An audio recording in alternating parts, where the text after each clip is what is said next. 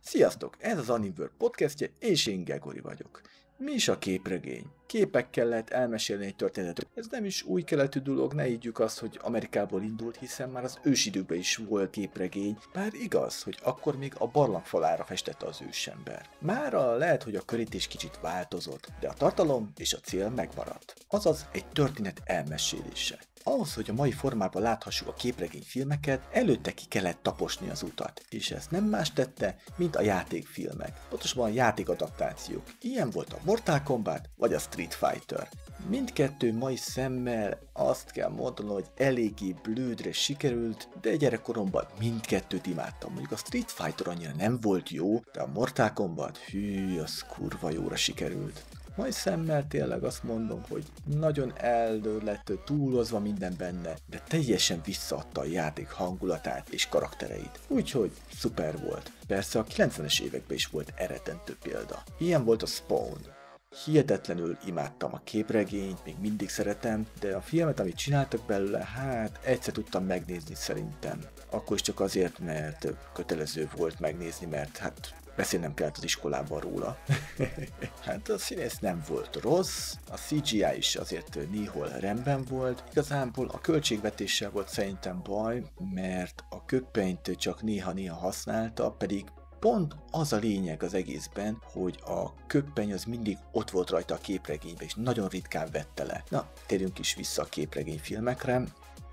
Mondjuk a Spawn is képregény film volt, de eléggé bénára sikerült mindenképpen, azt mondom most újra feldolgozzák, nagyon kíváncsi vagyok, hogy egy 18 pluszos karakter hogy fog a nagy vásznon újra megjelenni. Ebben az évben is lesz legalább két olyan film, ami nagyon érdekel engem is.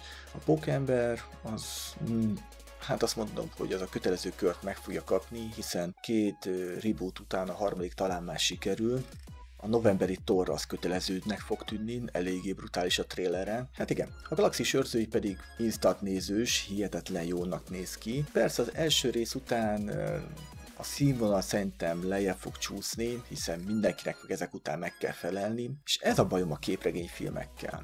Megpróbálja Hollywood azt csinálni, hogy olyan filmet letenni az asztalra, hogy mindenkinek tetszen. A kisgyerektől a legnagyobb gyerekig.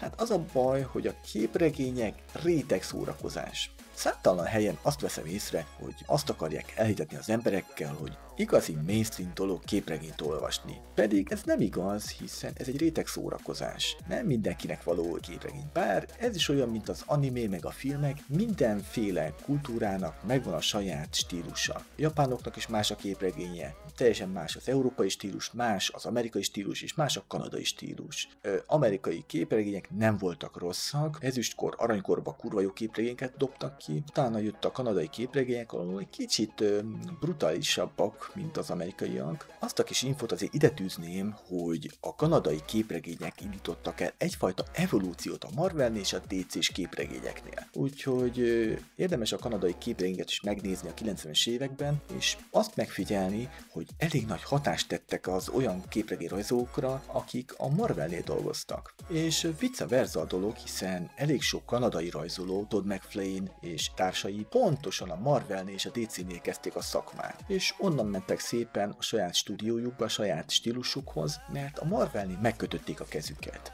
és jól látható, hogy mára teljesen más a stílusa a Marvel történetmesélésnek, mint annó volt régen. Persze tudom, hogy változnak a korok, meg a stílusok, meg az igények, de azért érdemes arra figyelni, hogy mekkora hatással van egymásra ezek a kultúrák. Például amikor elkezdett nagyon mainstream lenni a manga, akkor a Marvel is rácuppant erre, és csinált pár ilyen manga stílusú sorozatot. Nekem nagyon tetszettek, és érdemes őket megnézni, vagy belinkelem őket. Az egyik a Mangaverse, ez egy ilyen kisebb sorozat. Igen, én milyen képregényeket szeretek? Hát, most kicsit meg vagyok lőve, mert én Pókember fan voltam mindig is. De amikor a Spawn-t megláttam itt Magyarországon, akkor teljesen dobtam a Pókembert, és azt kezdtem el gyűjteni. Igaz, hogy Magyarországon nem volt hosszú életű, azt hiszem három évig tartott ez a szerelem, utána már csak az angol tudtam beszerezni, de az is írdatlan drága volt. Amik itt Magyarországon, azt hiszem egy rész 600 forint volt, addig egy amerikai kiadást 1500-2000 forintig tudtam csak beszerezni, ami gyors halálhoz vezet fizetett, hiszen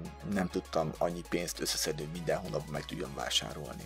És erre jött az internet. Igen, a nyomtatott sajtó halála-e az internet? Itt igen. Most van nekem durván, uh, hú, mennyi pókemberem? Magyarországon megjelentekből szerintem a 90%-a megvan. Ez egy ilyen oktatáska, egy ilyen katonai oktatáska nem lehet megemelni, annyira nehéz. Ugyanez mennyi most a Winchesteremem? Um, hiszem 10 giga. Azért elgondolkodott, hogy bármikor elővehetem a számítógépről, nem sérül, csak véglapozom őket, végolvasom. Igaz, kijelzőn nézni nem akkora élmény, mint amikor kézbe fogod. Ez a fizikai visszajelzés élménye, ahogy mondani szoktam.